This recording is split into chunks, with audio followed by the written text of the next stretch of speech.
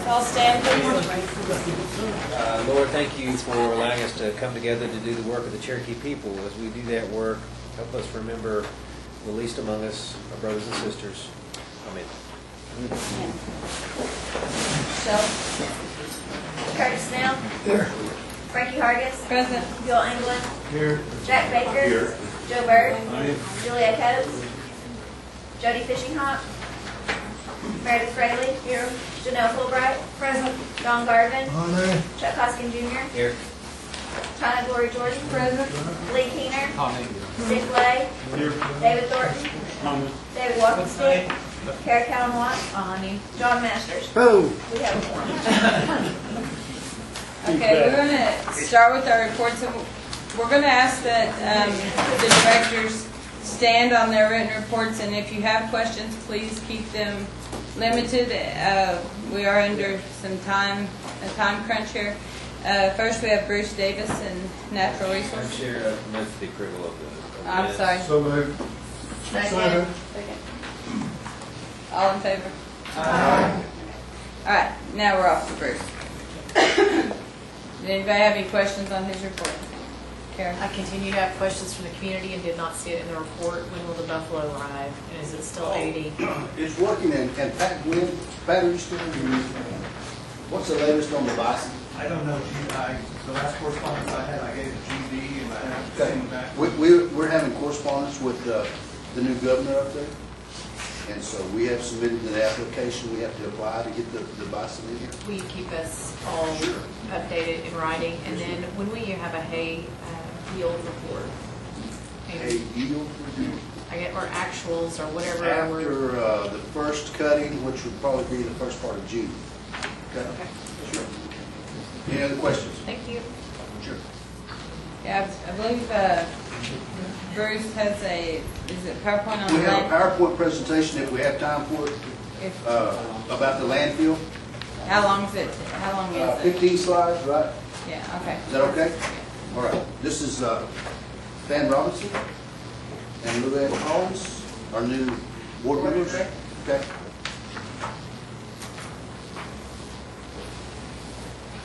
Ocean Nagati.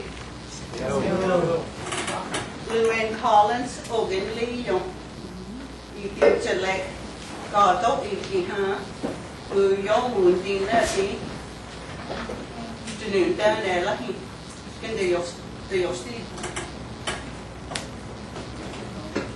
gì nó hết? Coi con. Hello, everyone.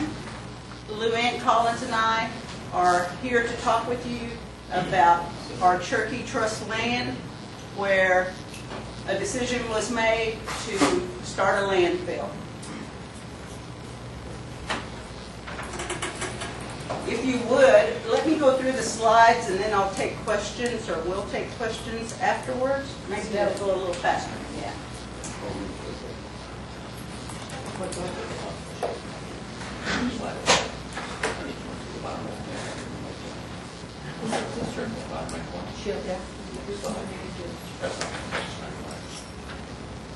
Okay, there's a, a shot of the landfill not too long ago. Uh, The elevation of the trash has exceeded that of the original mountain that was there.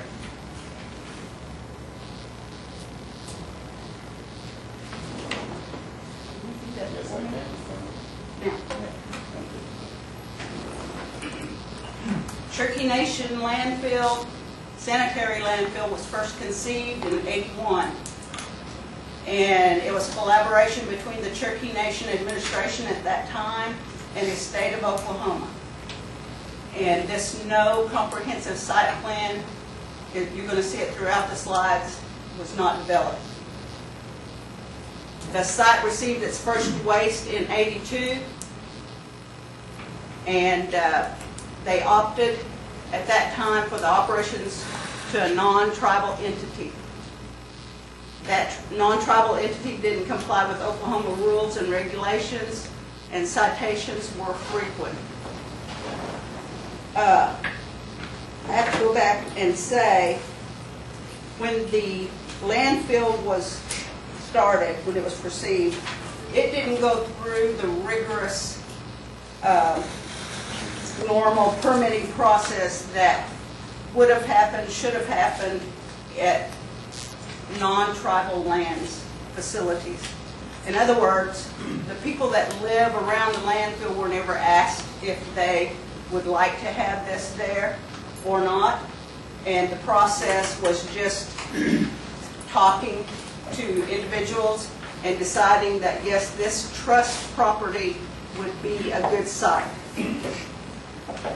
Using tribal funds, Natural Resources Department spent 1988 to 92 bringing the landfill into compliance. Profitabil- Profitability is difficult to measure because Cherokee Nation was always infusing non-ledgered resources into the operation. However, it can be supported, the facility's bottom line was approximately 200 to 300,000 in the positive. Is that-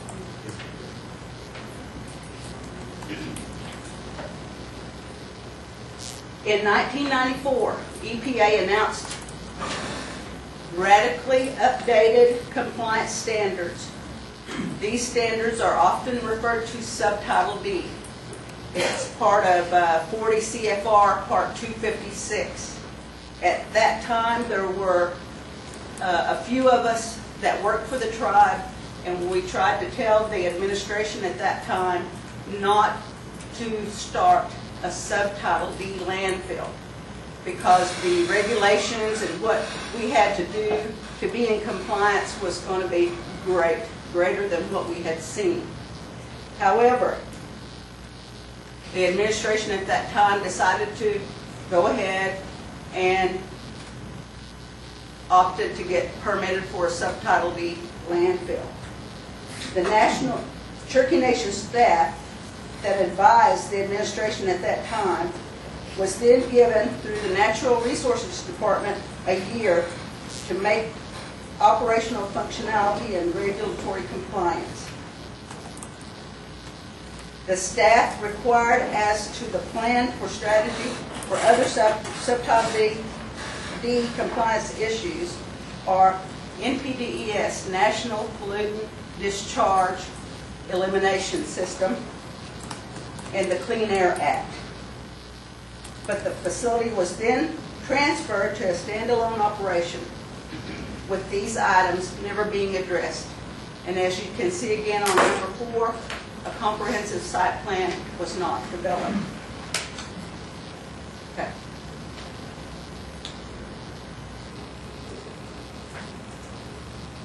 In 2005, management operations of the landfill are turned over to Indian Country Investments. No comprehensive site plan was ever developed. The partnership does not go well and ends in litigation in 2007. The management and operations of the landfill are then transferred to Cherokee Nation Financial Resources and then to CNB in 2008. CNB infuses significant amounts of resources to the landfill and transfers the site to the Cherokee Nation Waste Management LLC in 2009. No comprehensive site plan was ever developed. In 2009, Cherokee Nation Waste Management manages and operates the landfill under direction of a board. No comprehensive site plan was ever developed. Operation and finances have been problematic. Cherokee Nation has undergone numerous management paradigms since its inception, generally every three to five years. Generally, large amounts of capital, both human resources and cash, are required at each managerial shift. The Cherokee Nation Sanitary Landfill is once again in need of significant resources regardless of future plans.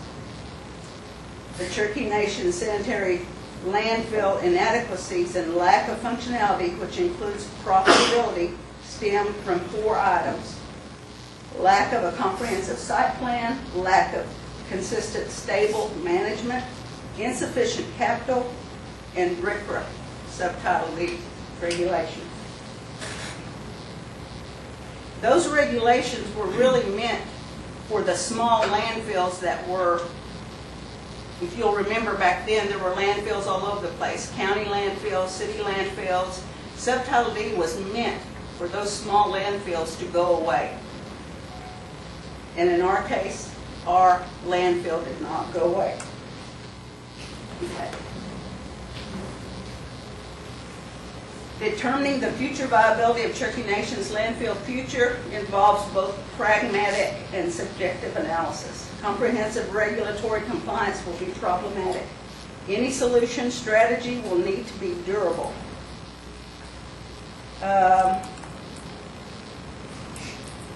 Number two there, especially the Clean Water Act permitting that we need at the landfill, it's not there.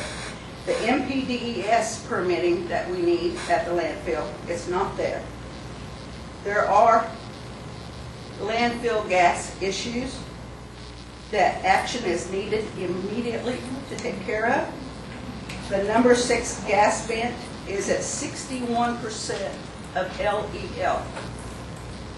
And that should not exceed five percent. We're at sixty-one percent and it shouldn't exceed five percent. Eight vents are not even located in the trash itself. Due to the need for long-term stable solutions and strategies, it would be ideal for the Cherokee Nation Landfills Management Comprehensive Plan, Site Plan, would be formalized into a durable agreement, such as a tribal resolution, tribal law, to set in place what needs to be happening out there.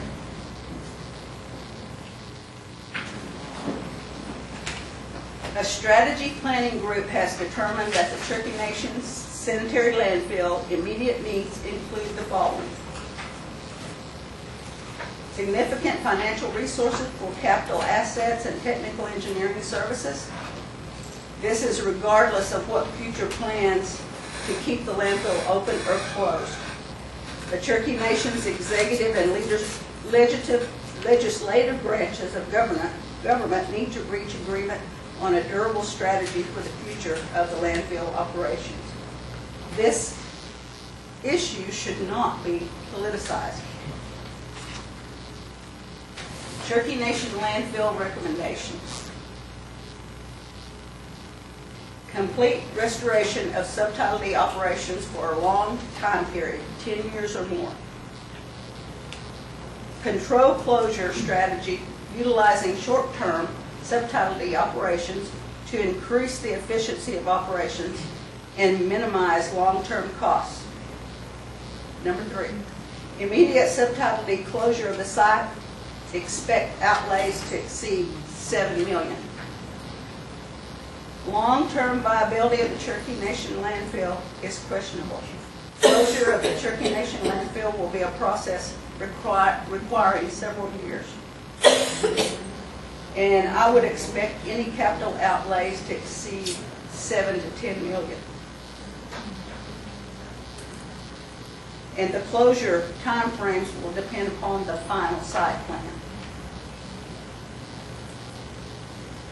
Retaining a complete, a competent engineering tech firm quickly is vitally important. Immediate action steps needed. Delineating funds, I would expect immediate needs to be well over 1.5 million for equipment, airspace, construction, and so on. Development of a rudimentary shutdown closure plan, rough cost estimate of about 100,000. This document will delineate immediate capital and construction needs.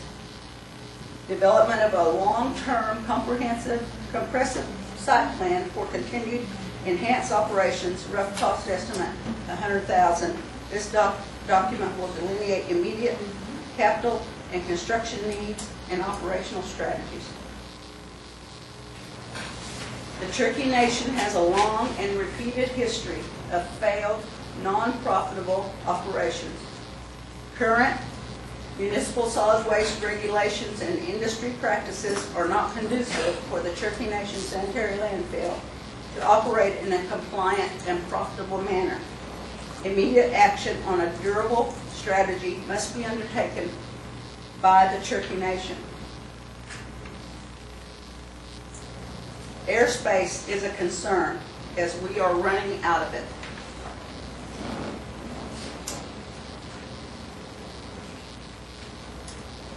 Slopes are not sustainable in the long term. Tie-ins may be needed. It's hard to see there, but there's actually a deep canyon between the one hillside on the right and the, uh, where the trash is on the left.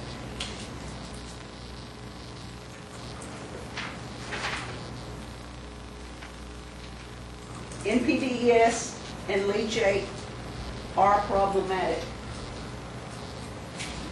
Currently, we're receiving about 100 ton, 130 tons per day.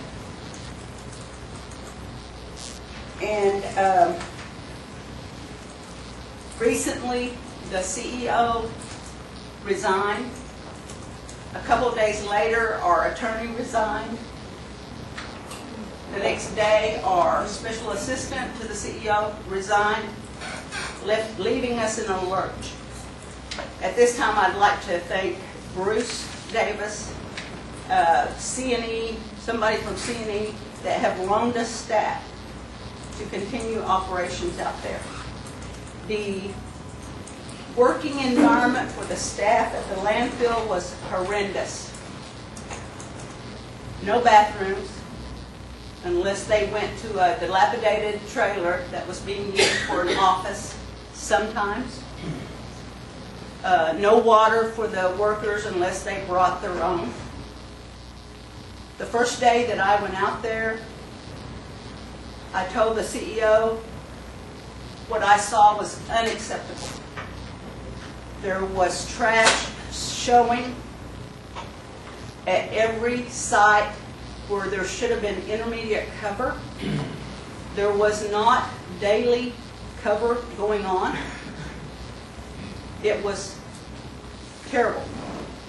While those issues wouldn't necessarily become an NOI, a notice of, notice of violation or NOV, it was building up to become a violation. Right, Tom? When we borrowed these people after everyone resigned, after the administrative part of the landfill resigned, I would say in the week after, there was a totally different atmosphere there. Trash was being covered daily. They were working on the slopes that had erosion and old trash was sticking out. Not in just one or two places, but complete hillsides. The staff that is there now uh, with daily management is doing a great job. And I was hoping that Jackie Woodward would be here today because he's the gentleman that goes out and looks at the landfill every day. And he has been telling me on a daily basis that the landfill is looking much better.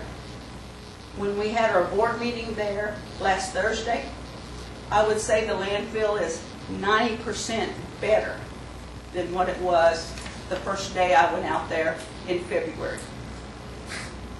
Um, The staff that was there before, I feel like the last administration of the tribe just left them in a lurch.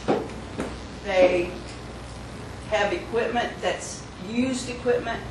It's constantly breaking down. We have hired a mechanic that probably has to work on the machinery on a daily basis, keep it going. So no matter what option, and remember I promised you when you approved Luann and I to be members of this board, that we would bring this information back to you because you are sole owner of this LLC, member of this LLC. And no matter what option you pick, there has to be a lot of money infused into that site. I think it's a shame that the tribe, now for 30 years, has not enacted law, has not come up with a resolution to protect our people that live around that landfill. Like I said, the gas issue needs immediate attention. Uh, We need an NPDES permit, which Tom's office, or Tom has said, EPA will not look at our application, have not approved it. We're a sovereign nation. It looks to me like we should go ahead and put something in place for NPDES E permit. It's to protect our people out there, it's to protect the tribe. Have I left anything out?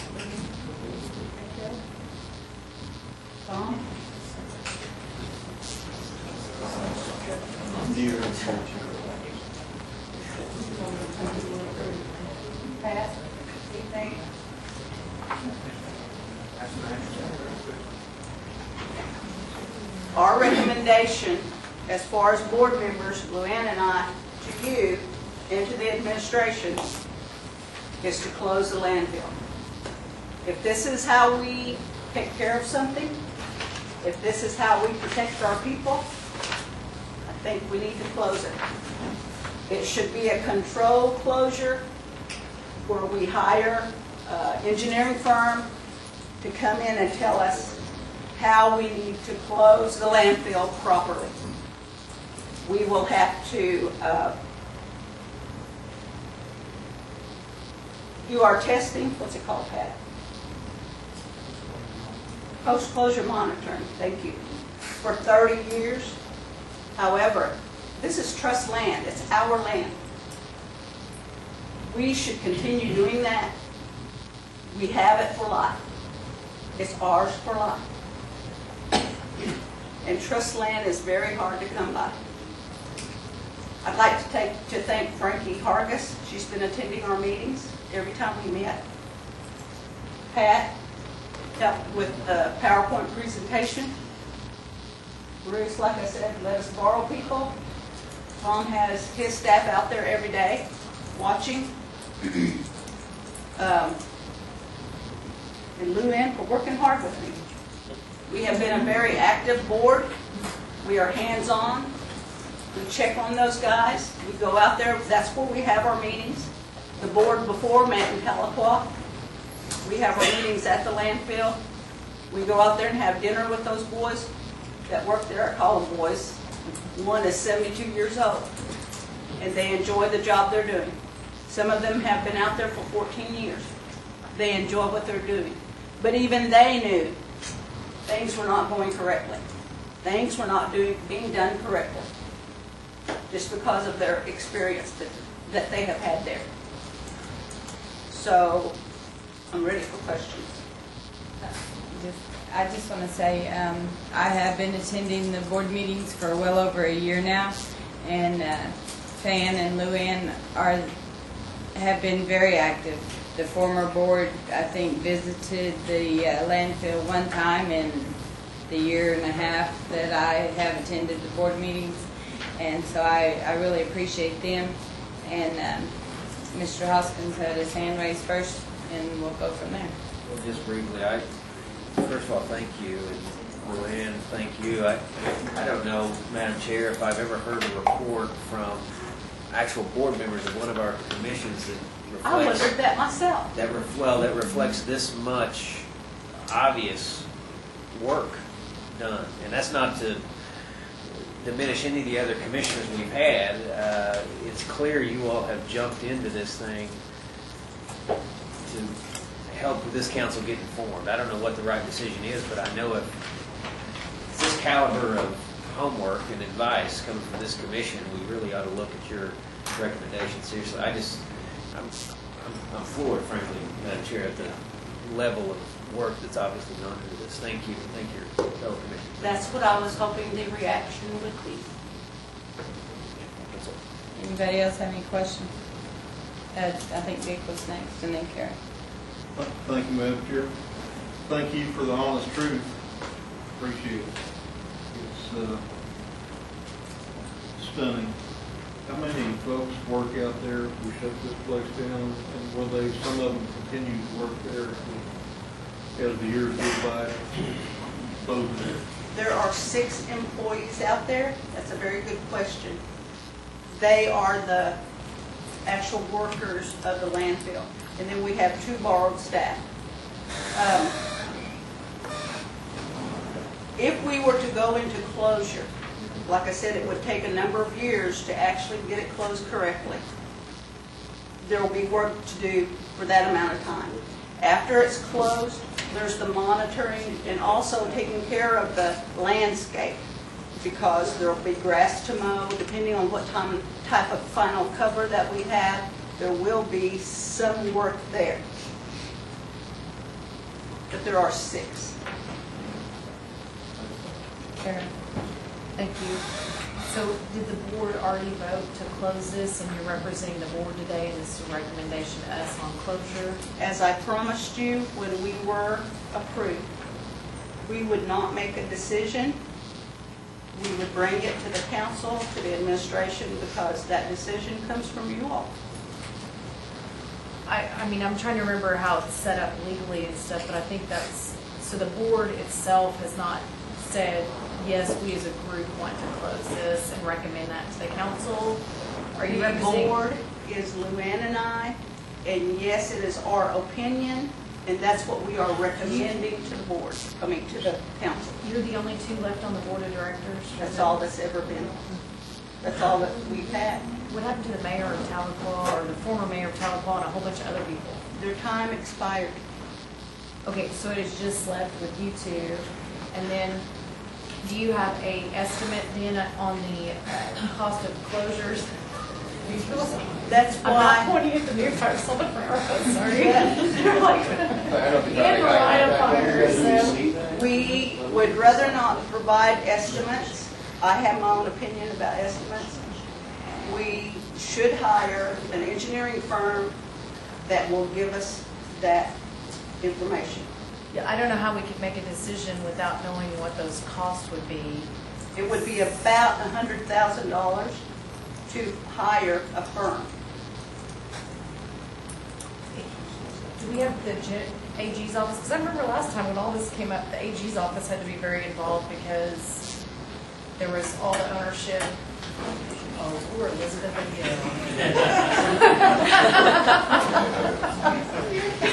Miss Odell, so, I remember there was a lengthy deal to separate from Cherokee Nation businesses and Cherokee Nation government, and they were their own entity. Although we technically own the property, we don't I remember how it was worded legally wise, but help me understand how this would untangle itself on the legal side. We would have to, first we would have to do everything necessary to start the closure, start the but we could dissolve. We have the ability to dissolve that corporation, all that. So is it making money right now or costing money? And this is just on the financial side, it has nothing to do with environmentals or whether it's operating properly. It is costing money every day.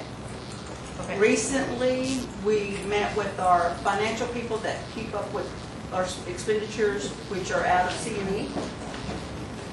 Good question, that reminds me of what I wanted to say.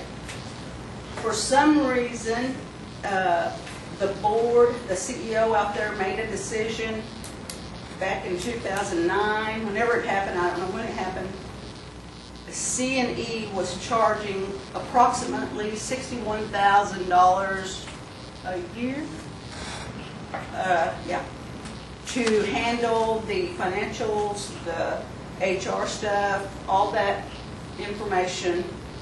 And for some reason, the CEO or the board decided they were only going to pay like 51,000. So we owed them, CNE, about 300 some odd thousand.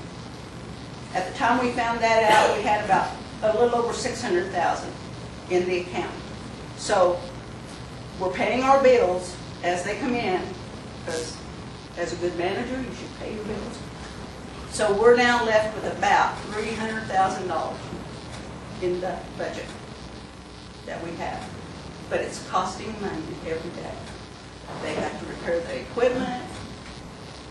So he's no longer making a profit, is what I'm hearing. It had, it's only made a profit for how many years, Pat, was it? Three years? What's profit? Okay, was this when the manager took the bribes and got arrested by the marshal service? Because that's, I mean, when they're that, because I looked up, I mean, so there's that, and I didn't know if that influenced, because there was, that's public record, I remember, it became a public It's issue. also public record that that was all unfounded. Okay, because I was trying to remember what happened with it, because I remember there was a big deal about it. There was a big deal about it, he was arrested, and it was all unfounded. Okay, so there's a closure cost on this that we don't know what it is, right? And then uh, from the Environmental uh, Protection Commission's perspective, what will we do with wildcat dumps? I think we're doing that. Trying to, find that. Sure, it will, if you, if the landfill's closed, well, we've done it before, we've done there are more ones. So it doesn't stop them if we have the landfill, but it certainly increases them if we don't. Okay. All right, thank you very much. I appreciate the report, it's very eye-opening, thank you. Thank you. Are you done? I don't know if we got an answer. Is that all, Karen? Yes, thank you. Jody? Oh, I was gonna address Dick's question, Dig, the six workers down there, and I remember, uh, it's probably been six, eight months ago, I was with Tina talking to the chief, and he mentioned that a couple of them was gonna have to stay down there to monitor it, and he promised us that the four longtime employees that wasn't going to stay down there would be given opportunities for jobs over here. Because some of them guys who've worked down there for years and years, several of them have not even graduated elementary, that's the only thing they know, and he promised they would be taken care of. And some of those men haven't had a raise in a very long time, and they work very hard. They're proud of what they do. When Luann and I first went out there, we met with every individual. We met with the CEO, his assistant, and all the men that work out there individually. And we asked them several questions, and we asked them how they liked working there, had things improved, how were they treated, such as that. And uh, they, they worry about their jobs. They told us what they saw was going wrong, which was absolutely correct. Um, One of the oldest gentlemen there said, why don't they treat us like we're a Cherokee Nation? And I tried to explain, explain to him the LLC that was set up, and I said, I honestly can't tell you why they did that, because this is Cherokee Nation land. But they were being told, you're not Cherokee Nation, because they would see the employees of Cherokee Nation having Thanksgiving dinner, having Christmas dinner, and being able to do this and that, and, and they, and these are full-blood elder men. Turkey speakers. Cherokee speakers, and they said, we don't know why we're treated like that, because we're Cherokee Nation, aren't we Cherokee Nation fam? And I said, yes, to me, we are Cherokee Nation. So, it's, they, this place is- has been ignored far too long. It's time to make decisions. Whatever decision you make, will have an impact. Whatever decision you make is going to cost millions of dollars, millions. I, I just want to say I agree with Ben. I've talked to all the employees out there, and we do have some great employees out there. Um, Jody, did you have anything else? Yeah, no. I appreciate you talking out there, and when she says these are elderly Cherokee people, this is one hundred percent Cherokee employees out there. All the employees stand, and Luann can sit out there and hold their meetings talking in Cherokee and never break into English. And they have always felt like they have been treated poorly. I have had to beg, beg previous administration to supply them winter coats, to supply their boots and their overalls, because other people get it, but they don't. I literally had to beg them to do that much. They never even so much as get the little gift card, the twenty-five or fifty dollar gift card that, you know, that we give them. These people have worked and worked and worked for us. And they've known something's been wrong for years. But they was told, hush, you need to keep your job, hush. They've known it's gone for years. And I promise you all, you all will never, other than me, you will never get two people that'll talk more straight and give you what they feel than these two women here. Had the mayor been on the board with you all, I'm sorry, I would sure he'd got work in Antoine. These two women are going to tell you how it is. I very much respect both their opinions. I think we chose very well. Tanya, you're next. And what I'm seeing here is that you're recommending option two of our three options, a controlled closure. Yes, ma'am. And what we need right now is probably a hundred thousand dollars. It needs to be put out for bid, but we need an engineering firm to go in there and tell us how to do a controlled closure. At the very least, that's what we need. We only have that three hundred thousand dollars to operate with. We're, we have poor equipment that breaks down every day. We've got payroll to meet. Just the normal costs of business.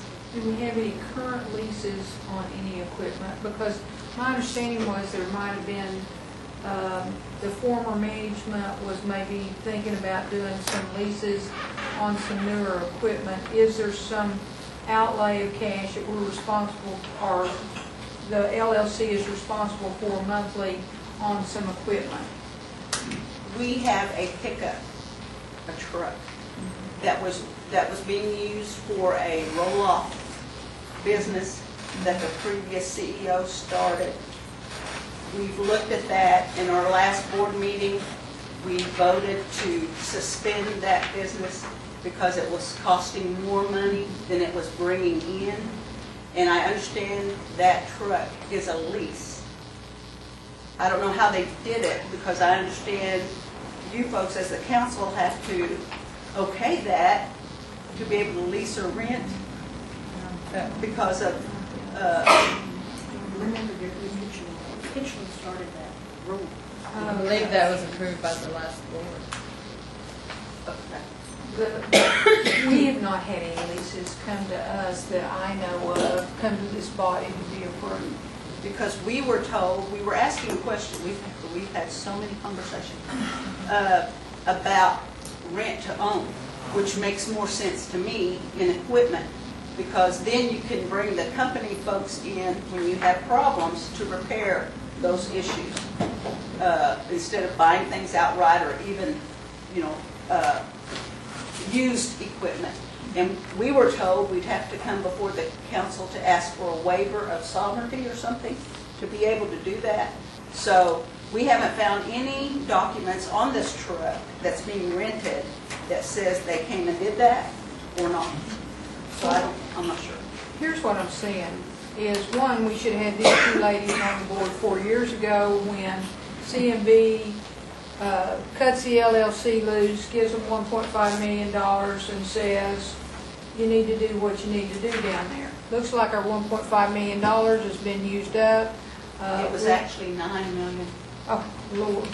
Uh, Well, okay, four years ago, they get nine million dollars. They spent it down to three hundred thousand folks. You should have had this group on there four years ago. We And would have never made it through the council. We would have never gotten approved. Well, what we need to do now is decide, and I make a, uh, I make a request to the chair that we put this on either a special meeting, and I think it probably does need to go on a special meeting that involves a, uh, uh, discussion and action on what we're going to, what we're going to do moving forward. You've got the recommendations, You've got your three options. Uh, This is a result, I guess, of some of the studies that have been going on. We need to, we need to now, uh, I think it's probably a special meeting that I'm requesting to just deal with this one issue. Okay, we have, we have four people listed, we'll try to make this quick and uh, then move on. Kurt, you're next. You'll just wait, okay. Okay. Joe? You can pass for now. Okay. Good job. Uh, Dick? Thank, thank you, Madam Chairman. Yeah, I'm glad to hear that if we shut this down, these folks are gonna be taken care of, work there. And, and did you say the CNB was charging y'all how much a year for management services, or what were For they financial services, HR services, a number of, of daily business, uh, Do So accounting. you paid them off? we are going to pay that bill. We just found out about it after the exodus. Uh, I wonder, I wonder, it's not my place to say, Might hold off on that. Well, I prefer to pay my bills. I know, I do too.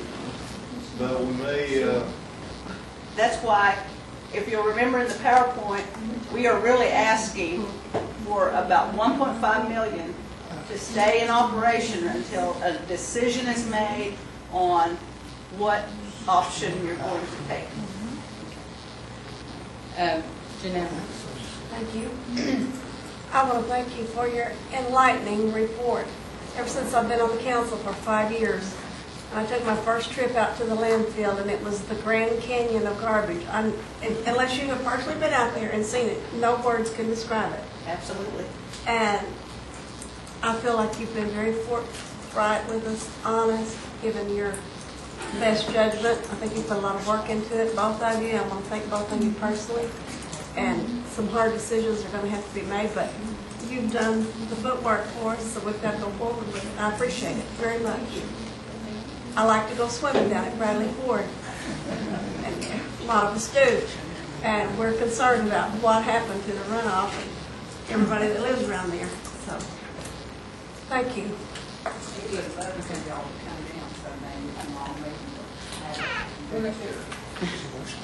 We're gonna let Jody close us out with their last question. I was going to tell everybody the dedication that Van and Luann has. Luann has had five bypasses in the last month, plus a stay in the hospital, and she is still up And she's here still worried taking the about board this meeting that week. And I think we all, all are around I want to thank you ladies, and we will set a special meeting. And um, do we have a hard copy of your pre- PowerPoint, or just, do you have a copy of it, Sean? We'll get a copy and get it sent to all the council members so they can look at that again before our special meeting. Great. Thank you. Um, We're going to move on to Ginger, real estate services. We all have her report. Does anybody have any questions for Ginger? Cara? They're more federal building, and is it really true, true about the Cherokee County saying it'll be ten years before we participate in the development plan? I don't know, what- I don't know what the Cherokee Phoenix says as far as, uh, you're talking about the criminal federal building? If there are two questions. Okay. It, Try to uh, be quick about it. okay. According to forty USC five twenty-three, in your report, it is not eligible for, uh, status, status. Well, do you know what the plan, because you reported that last month, so what's the plan then going forward on how to proceed with that property? Uh, we don't have a plan at this time, we haven't, uh, sat down and discussed the plan since our last meeting. You think we can uh, get a response from the administration on what they plan to do with the building, given the new circumstances? We will before the next meeting, I'll have an answer for you. Perfect. And question. then the next one was the Cherokee Phoenix reported to be ten years before we participated in land consolidation under Cobell. You know, um, as I reported in the last meeting, I think it was November the eleventh, eleventh of uh, two thousand and twelve, they had, I believe it was twenty years, no, ten years in which to finish that entire Cobell settlement. And if you go to the Indian uh, Trust Settlement, you can see www. So maybe that headline didn't reflect, I didn't see that, sorry. might read it. Okay, thank you. Thank you, Madam Chair. Anyone else have any questions? Thank you, Ginger. I have one question. Oh. Have you been getting a lot of inquiries on, I mean, they come Yes. to your office? Yes. I've sent a handful, but not very many. Okay. And The letters went out May the first, and uh, the following Monday, yes, we've been bombarded, and uh, we can help them, we're willing to help them. Um, Every letter is different, and uh, are requiring different information. If we have it, if they're eligible to get it, we can- we can provide the information to them. Thank you very much. Thank you, Madam Chair. Now, Ginger, most of the information that they need though is they have to be able to trace back to someone that had a, uh, um, I, uh, I, IIM account, is that correct? Not necessarily, I'd refer you to that eight hundred number. I would just claim anything regarding the uh, Indian settlement, but we have been referring everyone to the 800 number, and not necessarily. Um, The ones I I, have made I, phone the calls. letters that I have seen Uh-huh. said, bring, give your, your probate decree that shows you're an actual heir to someone that had one of those accounts. And if you read them down into like the second to last paragraph, you will see that I believe that they will accept uh, birth and death certificates. Just send them everything that you have that connects is uh, the information that I personally got. And, and I think, and I could be wrong, but I think they're trying to figure out if you're a sole heir or if there's multiple other heirs that Yes. haven't, haven't made claims. And in many instances, there might have been one heir, there might, that made a claim, might have been fifteen others out there that didn't make one. And I think they're trying to get all that information together. It, it looks pretty complex, the ones I've looked at. It's gonna be hard for them to connect all the dots, so to speak. Definitely, and uh, understand that the 10-year was definitely not this, uh, the letters, uh, that that was the second Yeah. part of that uh, settlement, that was the third part that she was asked about. That was Buying the the fractional, the fractional share. Fraction, That doesn't seem to concern the people near as much as the other letters correct. on, on uh, the ones that got the eight by twelves and the, I think it was two documents that they got out and tried and sent in for, it's between eight hundred and thousand dollars. That's what I've been getting a lot of calls on. But it looks like we did everything that we could as a nation to assist them. Yes, Uh, ma'am. There's some additional things that they need to connect the dots that we can't do for them. Correct. They did their part. And did your, you did it very well. I think it- you helped them to the point that you could help them. And now it's in their hands, but it's gonna be very complicated to get this other information that, that they're wanting. We have a fantastic staff that uh, is there to help them when they do come Even the death certificates will be hard, because you can't just order a death certificate anymore. It's Not like you used to from the state of Oklahoma. No, you have to have. I think David had a question, then we'll move on. Oh, yes, okay. All right, thank you, Ginger. Okay, next is Tom Elkins.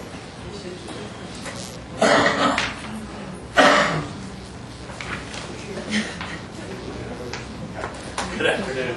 Does anyone have any questions for Tom?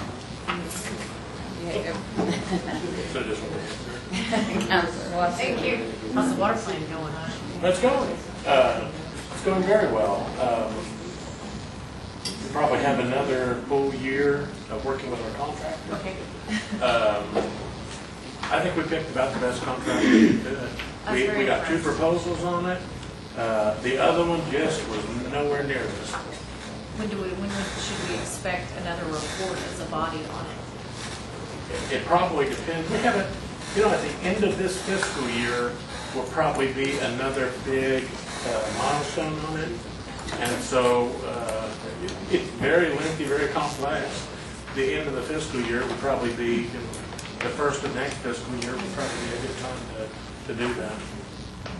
Thank you. Thank you, Madam Chair, and you heard that about the, a big, help get that done. Okay, thank you. I'll put it on my calendar. Okay. Anyone else have any questions? All right, thank you, Tom. Yes, ma'am. All right, uh, Bruce, Veterans Building. Are we done yet? We're getting close. David Moore was over there just this last week, two, or three times. David, would you come up and give a report on the Veterans Center? I did. He loves it. Because he's gonna give a final ETA when it's gonna be open, right? Uh-huh, sure. And, and Well, Okay. uh, go drywall is almost, oh, ahead. Go ahead. the drywall is almost complete. Uh, We've had a few issues with some contracts, We're trying to get those worked out. So that's slowing us down a little bit. I mean, we're still shooting for the end of June as hard as we can. Uh, We're doing the concrete. Every time it's up, pour a little concrete or something, it rains. Not gonna complain because the last two years we hadn't had any, so. But that shouldn't hold us up inside. Uh, There's, a, that's really where we're at right now, as far as the interior. Go. You give a, a date, you expect to be done on it? We're trying to work to be done at the end of June. Okay, and As hard as we can, but I mean, there may be some stuff outside that won't be finished, but we're, we're pushing on the interior right now. And people keep asking me about the name for the facility. Mm-hmm. I don't know about that. Is that gonna come forward? Council does that. Well, I saw some email exchanges on it, but then I didn't see anything else on it, so is that, I haven't seen anything definitely. okay, thank I you just very love much. Cherokee Nation Veterans Center. Thank you. Okay. Um, Tanya, did you have something? Yes, um, I had, uh, had some information, there might have been some roof leaks over there. I personally hadn't seen it there. I hadn't heard from anybody. I know there's been some at different buildings around. We had a couple at Redbird, on the old one, they went down and took care of that. Just some flashing and copying issues. And I assume y'all won't try to name it without coming through this body, because I think that's a requirement. Yeah, I won't name it. Speak for- speak for you. Yes, Yeah, yes. it it is a requirement, unless you use a generic name of the Cherokee Nation Veterans Center for whatever time you'd like to, which is. Thank you. Thank you. You're about to speak.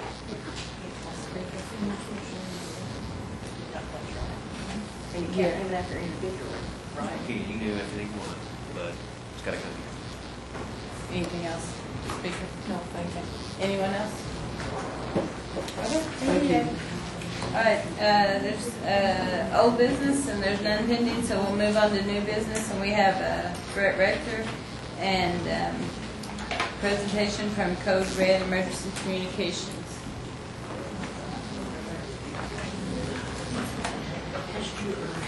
Communications. I'll just take a second to pass this out. My name is Mike Burton. Uh, I work for a company called Code Red. Uh, What we do is mass uh, emergency notifications. So we uh, provide communities, 10,000 communities um, throughout uh, domestic U.S. and also overseas that um, I guess is best commonly referred to, keep it layman, when we have problems, we call 911. When places have problems, they call, they use reverse 911. So what Code Red does is it's the ability to contact um, uh, different different communities, different groups, different organizations, different committees um, in, a, in a large scale. Uh, while I did that, I just like to take a second real quick because I don't know how much time I'm going to have. And I just want to thank uh, Mr. Brett Rector. Um, obviously, you're going to hear how I talk. I'm not from here. I'm from Boston. I came a long way to see y'all. Brett's been working on this about two years. Um, and uh, most of the things I do are city municipality, city government, city stuff like that, and that generally takes a long time. Um, but with any committee, uh, the diligence to keep at it when you recognize something that can benefit a community, um, and the fact that he had surgery last week and he's here today, I appreciate that. So, um, what it is, uh, again, what we do is uh, we have um, an emergency weather service, and that's what we're probably best known for in Oklahoma and Texas. Uh, the way it works is we have a direct feed to the National Weather Service uh, in their satellite, which basically means the very second they issue a tornado slash flood um, winter hazard, any type of notification that they um, they issue, residents, community members, uh, Cherokee Nation members, whoever's in that path of that storm is going to actually receive that notification. I'm going to just pull up a slide real quick just to be a little visual and makes life a little bit easier. Up on the screen there. Thank you, Miss. So um, what you see on the left is uh, the, the way Code Red uses the system. Uh, the area, I, I don't have my laser pointer, I apologize, but the, the storm is, is moving through and you have three polygons leaving the area on the left screen. That's the area that the National Weather Service said is going to be affected by this tornado warning. What's nice about this is as the storm moves, the polygons will move with it. And if you fall within those polygons, you can receive a voice, text, or an email notification letting you know there's a tornado on the way. If some of you are familiar with this, it's because we've been doing this for about 15 years and factually have saved millions of lives. And that's the truth. Um, reason being is last year, Lancaster, Texas was the one that was on today's show. That's where we got our, I guess, recent notoriety from. They received the code red warning 18 minutes before a tornado siren sounded.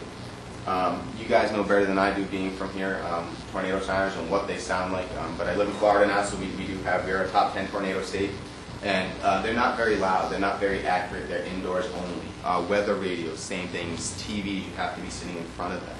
What's nice about this is it allows um, those residents that are in that storm to go ahead and get that notification.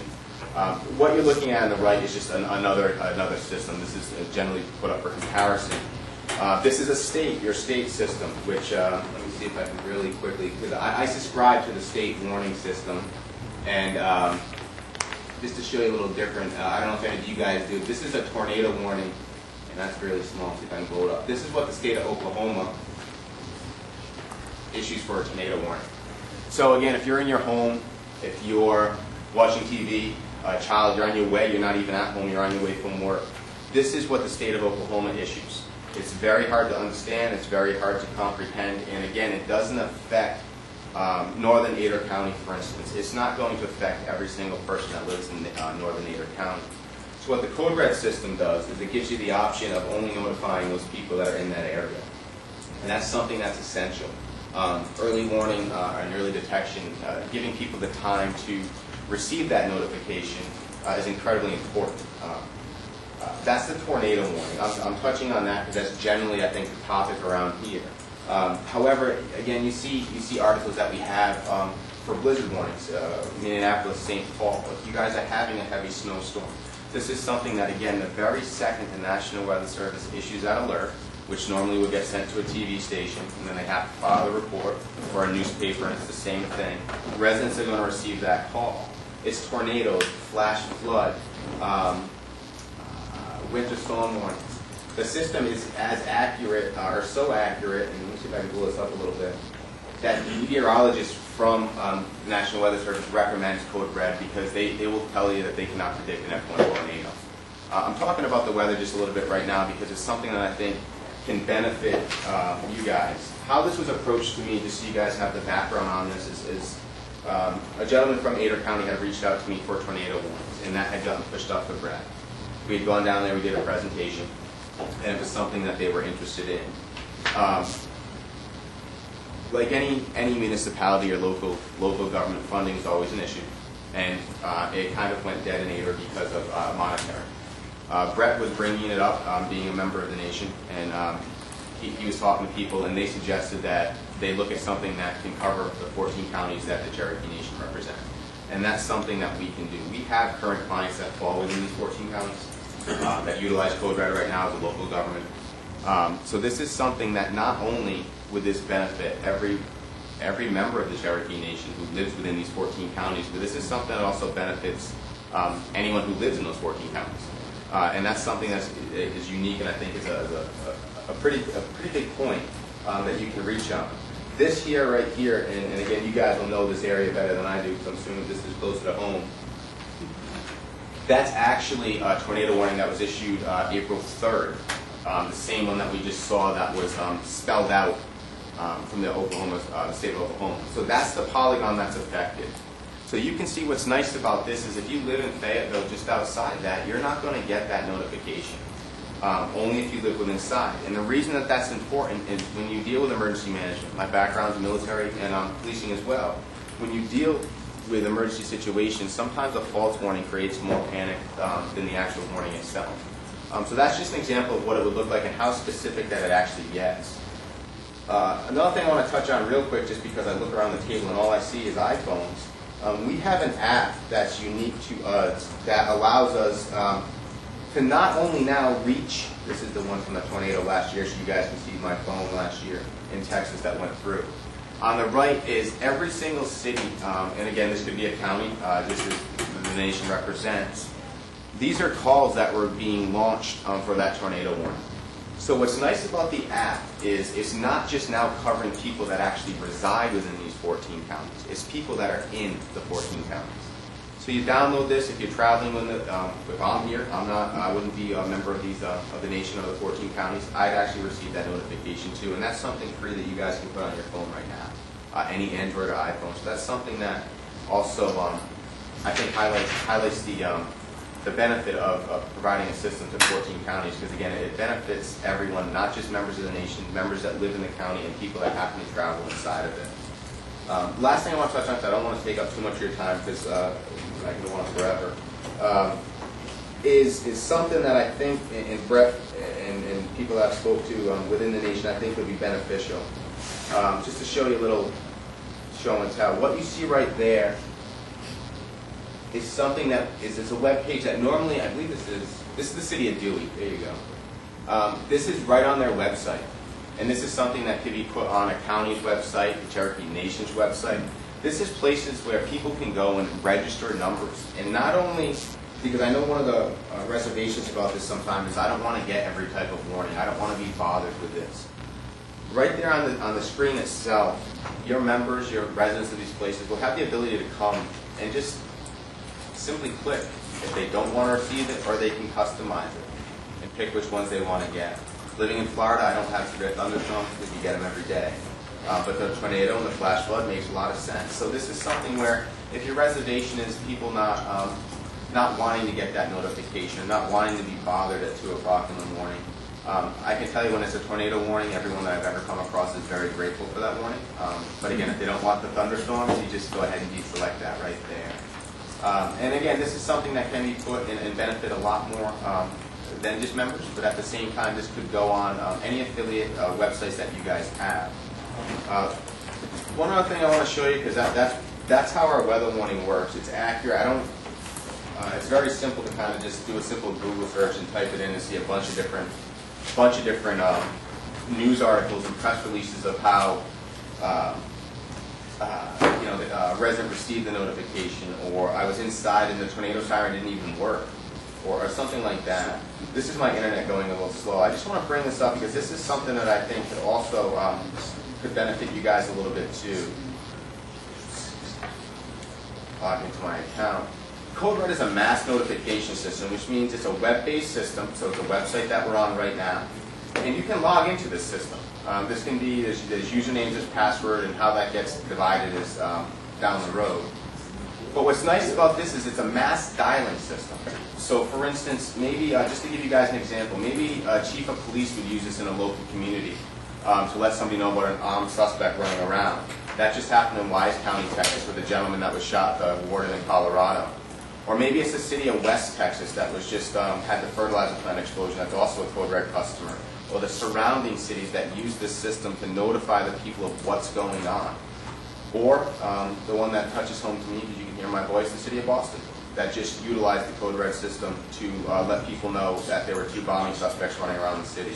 This is a way to mass communicate with any group or individuals that you want. I'm showing you this here because I think uh, visually it'll make a little bit more sense. You guys, um, as a nation, you guys have, uh, I mean, you have the marshal, uh, again, uh, education, um, the marshal services, the healthcare centers, the schooling systems. And what you see right there is some of the things that you guys have. Um, just some of them. And it's a way where you can go ahead and contact stuff. So let's say, for instance, there's something going on at one of our healthcare centers. And I don't know um, policies and procedures, how that goes about notifying them.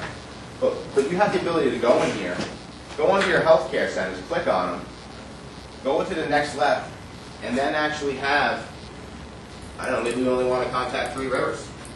Maybe, maybe WW Hastings. You have the ability to select this here and send any type of notification that you want to any of these groups. So maybe it's a snow-related emergency or a closing, or it is a tornado. Maybe it's after the fact, and that's something a lot of people don't don't stop and take into consideration. We were warned about the tornado, but what happens afterwards? What about the street blockades because of the structure fire, because the telephone lines went down and it's starting small fires?